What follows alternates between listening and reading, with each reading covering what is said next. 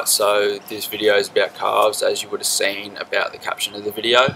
Um, there's just a couple of key points I want to point out when you're training your calves. Firstly, you don't want to start off too heavy, you want to start off actually with no weight or very light um, and get your form right, really feel for the contraction in the calf. Um, secondly, don't ego lift, like everyone says, drop your ego at the door because calves are something you can go heavy on, but you also do have to go fairly light and get that high rep range. Um, so basically, yeah, we just did do some calves. I would usually do them with an arm day or something like that because it's one of those body parts that I really do want to work on. Um, so it's just a little muscle group you can put out at the end of a workout or while you're sitting there sipping on your pre-workout. Um, so we're basically going to hop into a voiceover and I'll explain some more key points of how I'm setting up the equipment, all that sort of stuff. So we're going to start off with the standing calf raise using the Smith machine. This is going to target your gas gastrocnemius. Um, so we're gonna, what we're going to do is we're going to use the block.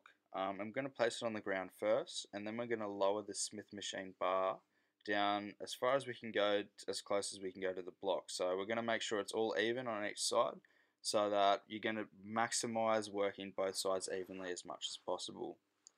Um, so with this, I used 20 kilos, so 10 kilos on each side, which is fairly light. Um, so what I did today, I did high reps, which to me, you can go heavy or you can go light. Um, but if you want to maximize your squeeze, start off light or start with none. So if you notice my toes are at the end of the block there, and I'm driving all the way down to the floor with my heel and then driving up as much as I can while squeezing the calf at the top. Um, so taking my heel down to the bottom is going to give me a nice big stretch in the calf, which is going to add length to your calf, which is which is really what you want whilst building your calves. Um, so you can really see it here. Heel goes pretty much touching the ground, and then I drive up and squeeze. So as you can see, that is going to add length to your calf. It's not just a half rep, it's a full rep all the way down to the bottom. Um, so now your seated calf raise, that works your soleus.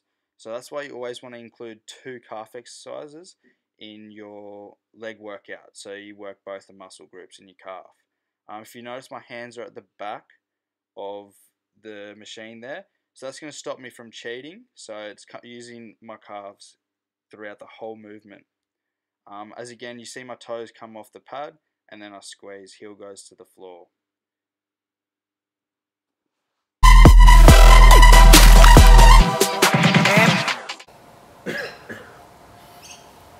Do that again.